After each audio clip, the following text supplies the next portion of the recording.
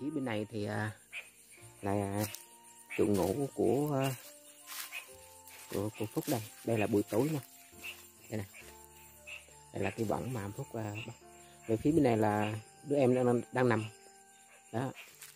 Thì đây là những cuộc sống thật của những người đi rừng. Ê, chào tất cả mọi người nha. Giờ tối rồi. Mới có 5 giờ chiều giờ cũng đã 7 8 giờ tối rồi.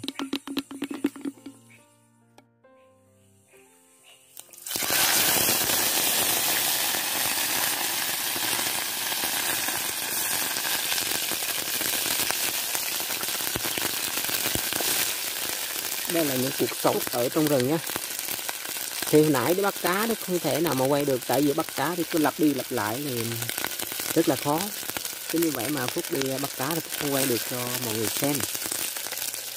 Đó, đây là những con cá nối và đây cũng là buổi ăn tối của phúc thôi.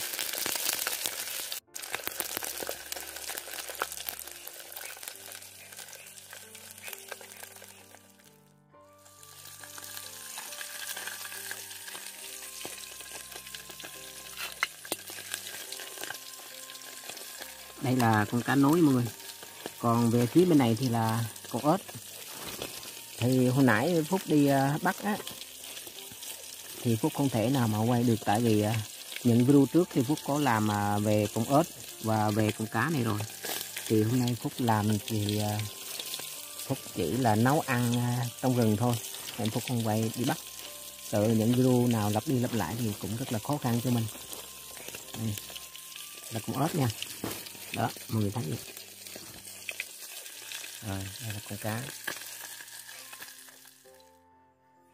con chung với con cái đất đây đây là con cá này. Đây là cái cách người ta hay nói là luật rừng. Khi mình vô rừng mình phải có ăn mời người tập người ta.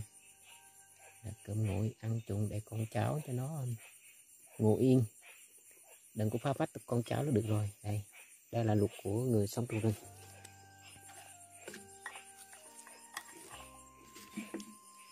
thì bên cạnh này là rượu. Vô rừng phải có rượu. Nó hết. Ừ. lấy nắp cũng được.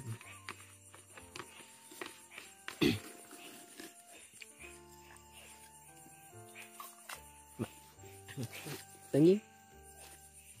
Cái này cho vừa không đầu nó ừ quất đó đây là lá tà bay tà bay mà hồi nãy phúc vừa mới à, đi à, hái nha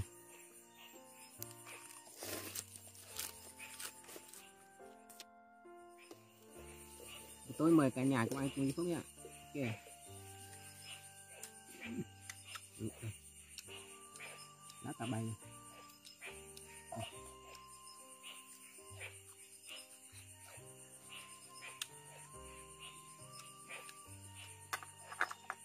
Đây là review.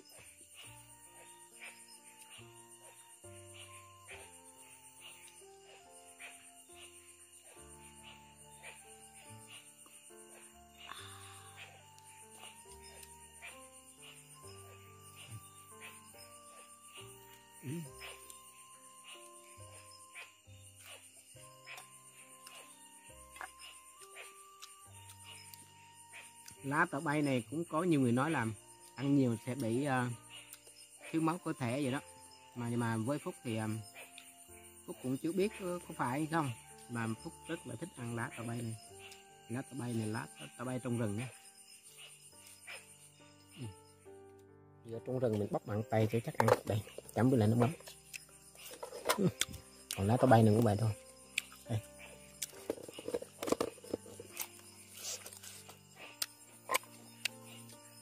Phía bên này là em trai của mình Đó.